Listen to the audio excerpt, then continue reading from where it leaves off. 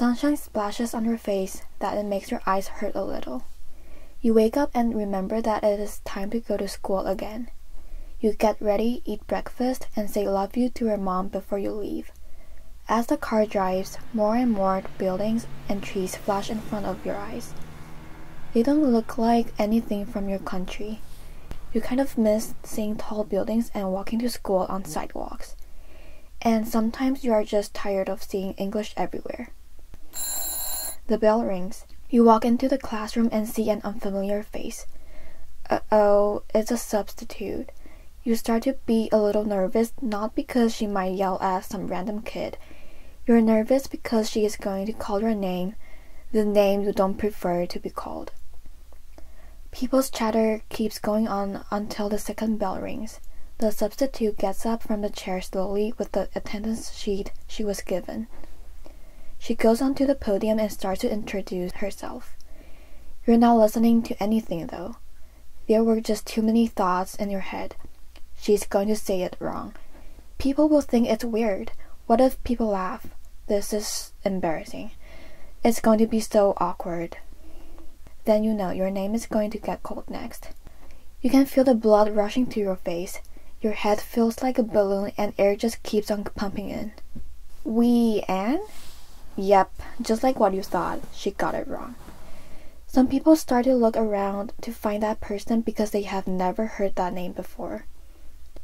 You raise your hand really slowly and say, Here. Wait, that's your name?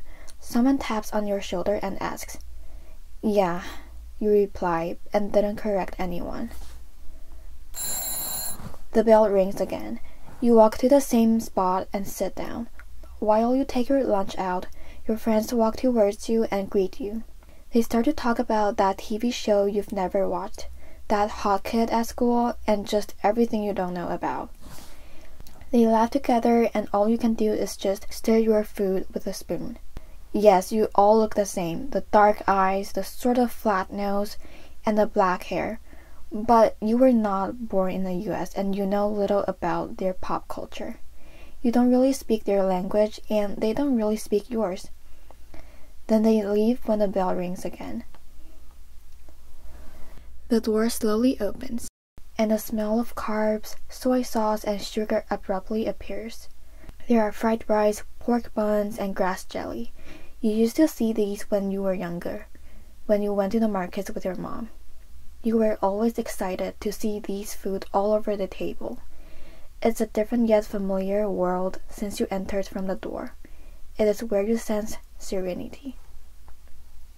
You take off your backpack and throw it to the ground once you get home.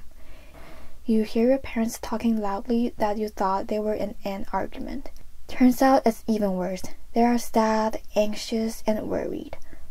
They talk about how they have had only four groups of customers at most every day recently, and it seems like the situation will only get worse. This morning, a group of teenagers yelled at your parents and told them to not spread the virus and just go back to where they're from. You saw a lot of news like this online, but you never thought this would happen to your family. We haven't even been back for five years. You thought. You open your door and it squeezed a little. With your face on the bed, you wish you knew how to make things better.